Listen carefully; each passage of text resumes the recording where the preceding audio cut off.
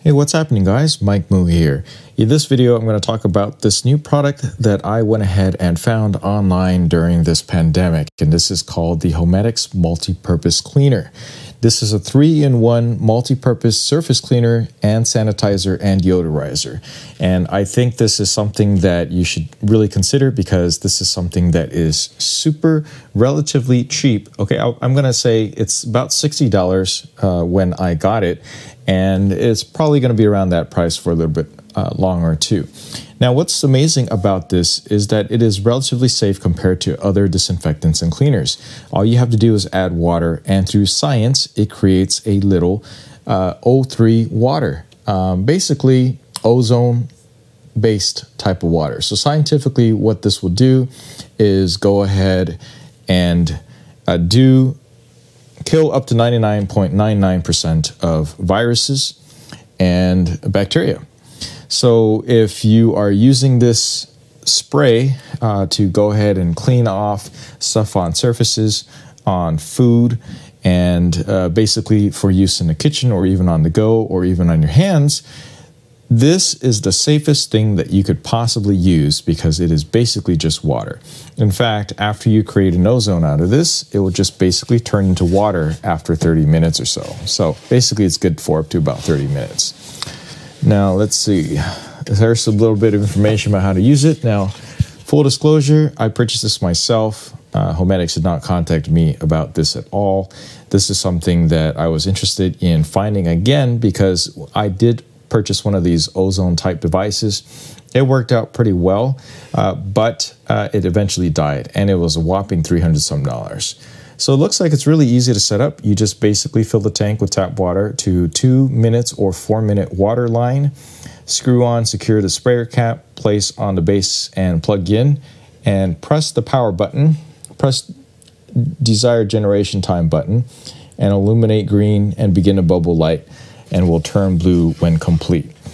Uh, so it looks like it's very easy to use and looks like it says that I got it for best results, use it within 30 minutes. And that's because in this unstable state of, uh, of the creation of the ozone type water, it will only last about 30 minutes maximum. So I re really generally say, hey, just create it and use up the entire spray in about 20 minutes. And if not, you can just stick it back onto the base and generate, generate it again. Now, looking at this, this is a much more simpler device compared to something that I've owned in the past. And maybe, you know, that accounts for the cheaper price. It looks like you got some electrodes over here, which then needs to go ahead and power up this part in here to do that chemical reaction and create the ozone uh, in here. Now, this ozone is probably, for me at least, it didn't irritate me at all. And um, I even went so far in the past, again, not this one, I'm just speaking of, of my previous experience with, with ozone water. If you, after you create the ozone, you can definitely smell it in there. And if you put your nose on there, you can definitely smell it. And it does not bother me in the least. It definitely does have one of those sanitization type of smells, but that goes away. Right, this is not a permanent type of thing. It'll do what it needs to do and basically turn back into water. And that's the best part about this is that it is not going to harm you and give you any long-term effects after it's done its job. All right, so looking inside here, it looks like we've got the basic base station. Also very simply designed, as you can see, uh, completely wireless basically the three electrode paths on the bottom just connect over here and you got the on off and then two minute or four minute. I believe when you do the four minute, it's a bit, well, I'm guessing that it,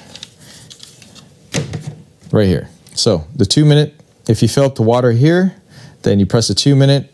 If you do it all the way up to here, you need four minutes to get up that much more.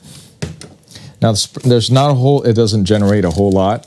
And the, I guess that's perfect because if you're using it uh, relatively casually, you're not using like industrial application uh, for like like a big giant tank walking around a hotel to go ahead and try to uh, kill off all the germs. It makes perfect sense to have thing this have something this small. All right, I'm going to go ahead and plug this in and generate some uh, some ozone water now. All right, so I'm back. I filled it with some tap water, and it is basically up to the two minute mark. I also plugged the in. The power cord is roughly about five to six feet. I didn't completely measure it, but it felt like it was enough.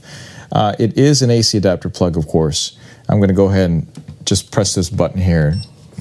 As you can hear, you could hear a little beep. Now, notice that this bends over a little bit. I guess the stability of this could have been better designed, but it is what it is. So I press that on there and press the two minute mark, and it is, oh, look at that. If you look, if you can look really closely at it, look at it. It is generating something right there. If you look really close, let's zoom in a little bit here. Get a little bit of that and turn down the brightness, and you can kind of see that it is generating really rapidly and really quickly, and I might add relatively quietly compared to uh, my last experience with an ozone type of uh, device.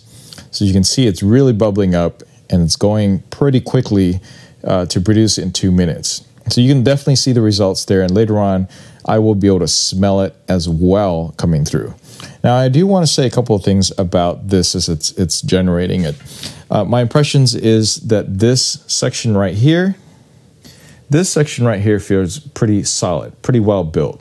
Okay, um, but the spray section up here, the spray bottle itself up here, and um, closing this up, you want to be a little bit more gentle with it. It felt like, uh, you know, you, you got to cut some corners somewhere, and I felt like there were a few corners cut. Uh, but overall, I, I got to say, this looks like a really nice, like fancy type of water bottle. Clearly, it produces the ozone really rapidly and really quickly. Okay, look at that. That's O3 working right there okay, ozone water. And yeah, that looks pretty darn potent for what it's supposed to do. Now, you might ask, well, Mike, what's the ideal scenario and use for this? How can we test it to figure out it's working out well? How do we know when it kills bacteria and all that? Well, um, you could do a couple of tests basically. Uh, one of them is well, you can take science's word for it, or you can just literally i think some examples of something like this would be you know this will remove or help to mask a lot of the smells around the house. All right you spray it on let's say let's spray let's say spray it on some dirty uh, socks or pour it on top of a dirty sponge or something and it basically kill the bacteria thus eliminating a lot of the smells. And you know you could you could just um, actually if you just open this up if I just open this up right now and I smell it, I can definitely smell the ozone. And this is what, what's being used in a lot of hospitals. Oh, yeah. I smell it all right. And, um, you know, it's, it's for sure uh, the, the, type of ozone water. Now, one of the things that I also do is instead of using just hydrogen peroxide, um, you can actually, even though it's not advised, and I'm not going to advise this because certain people uh, feel that it is um, have different responses to ozone water is uh, I used to use mine uh, as a mouthwash. Okay, so I used to pour, you know, a little bit in a cup, squiggle around my mouth, and spit it back out. You know, that tastes a lot better than hydrogen peroxide. Uh, but I'll spray this on toothpastes, toothbrushes, basically anywhere, even on your phones. If you are out and you don't have access to UV light, you don't want to leave your, your phone in UV uh, for a period of time, those are some pretty good use cases for it. I'm going to go ahead and test the spray. Okay, it's, it's a pretty decent mist, all right? You're going to have to want to get relatively close to the item, and you probably want to go ahead and drench it with the ozone water uh, right off the bat in order to ensure the best possible uh, outcome and efficiency of the unit itself is you need to drench it with the ozone water for it to go ahead and kill off the bacteria and viruses by oxidizing them.